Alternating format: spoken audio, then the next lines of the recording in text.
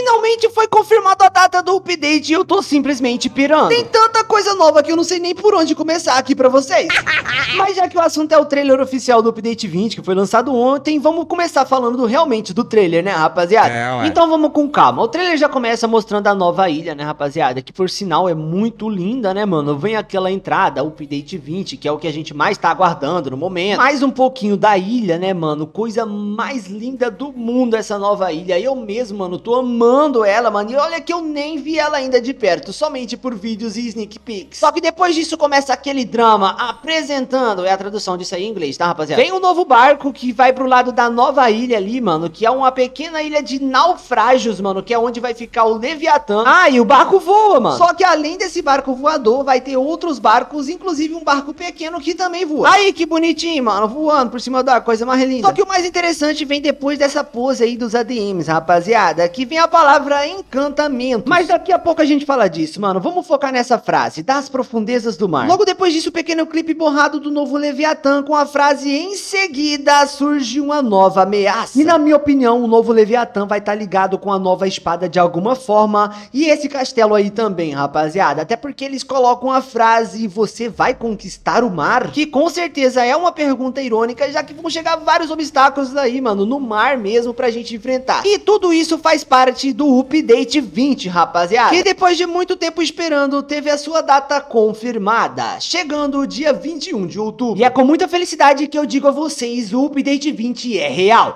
Mas calma, não acabou ainda, tem muito mais coisa pra mostrar pra vocês. As únicas coisas que eu mostrei no trailer são as coisas que não vão mostrar com detalhes daqui pra frente, beleza? E assim que termina o trailer, a primeira coisa que os Yolis vai mostrar pra gente é o local onde encanta as armas. E na minha opinião, mano, se for uma coisa que vai ser muito caro, mano, e tiver que comprar, mano, vai ser muito injusto. Ele vai direto no Mythical, que deve ser o melhor, né, rapaziada? Tem um dragãozinho ali, abre o pergaminho e já pronto, mano, tá encantando a Dark Blade. Eu espero mesmo que isso seja uma coisa que você consiga conquistar dentro do jogo sem ter que gastar Robux, né, mano? Senão vai ficar muito injusto. Porque se liga só no tanto de coisa que vai ter de vantagem, rapaziada. Eficiência, fortuna, mano. Tem o Vampiric que rouba a vida do seu inimigo. E tem um lá no final ainda que é o tal de obra de arte, rapaziada. Que parece ser uma coisa única, mano. Que aumenta o seu dano em 5% e diminui a velocidade de recarga das habilidades em 8%. Ah, agora me fala se esse trem não vai ser roubado, mano. Tem que ser pra todo mundo isso aí, mano. Se for só comprado, mano, aí vai ficar chato. Mas agora vamos falar dos barcos, rapaziada. O que, que vocês acham desses barcos que voam, mano? Bom, obviamente é muito bonito, né, rapaziada? Mas eu me preocupo com a locomoção, já que muito pouca gente usa barco para se locomover e eu acho que esses barcos não vão ser é, de graça, né? Vamos dizer assim. Ou ele vai vir no passe de barco rápido ou vai vir em outro passe pra gente comprar, né, mano? Vocês sabem que eu tô sempre dando a minha opinião real para vocês, então já vai segurando o seu bolso aí se você quiser ter esse barco, porque vai ser caro, meu parceiro. Ih, rapaz. Mas vamos lá, tá na hora da gente falar das coisas principais, né, rapaziada? Que é a nova espada âncora. E na minha opinião, tem ataques super fortes, super bonitos, super bem feitos, né, rapaziada? Que vai ser uma espada muito usada pra combo. Olha só isso, que coisa mais perfeita. Respondo a minha opinião novamente, rapaziada. Eu acho que ela vai ser uma Game Pass, como a Yoro, beleza, rapaziada? Assim como a Dark Braid, ela vai ser uma Game Pass, ou talvez não, né? Quem sabe? Até porque, como eu disse pra vocês, se ela for uma das armas que adquire, assim como a Soul Guitar, que você tem que fazer umas missões e depois craftar ela, com certeza aquele templo que foi mostrado no trailer, ou até mesmo o Leviatã vai ter alguma coisa relacionada a pegar essa espada. E o novo estilo de luta também não fica atrás, rapaziada, também chamou muito a atenção da galera, porque é um estilo de luta que parece que vai ser muito roubado, olha só pra isso. Infelizmente não mostra o dano que causa esses ataques, né, rapaziada, mas não se preocupa que eu vou trazer vários vídeos assim que for lançado, tudo isso aí pra vocês, mano. Então não esquece de deixar o seu like nesse vídeo, se inscrever no canal e ativar o sininho pra não perder perder todas as novidades sobre a nova atualização. Só que o que mais me chamou a atenção foi o C, rapaziada, o último ataque dessa habilidade. Porque além de parecer muito roubado e forte, mano, não importa onde você acerte ele, mano, fica uma bolinha flutuando ali e depois vai uma espécie de aura vermelha, mano, sei lá, mano, e ataca o seu oponente por você. Na minha opinião, essa habilidade pode ter alguma ligação com a raça Gol. E aparentemente, né, mano, parece ser muito forte, então possivelmente vai ser um jeito difícil de pegar, né, tipo assim, ter a raça Gol V4, por por aí. Enfim, rapaziada, após essas coisas aí, vem uma coisa muito mais legal, né, mano? Que é a nova fruta do som, que foi uma grande novidade pra gente, mano. Ninguém sabia dessa confirmação da fruta do som, até então só tinham confirmado a fruta do mamute pra gente. Mas é por mim, rapaziada, essa fruta do som parece que vai ser uma grande rival aí pra Dogen, porque além dela ser bonita, né, mano, já que é a fruta da Uta, né, rapaziada, do anime One Piece, né, foi baseada totalmente na Uta, ela também parece ter um grande poder de ataque. E também tem a passiva Tempo Meter, né, rapaziada,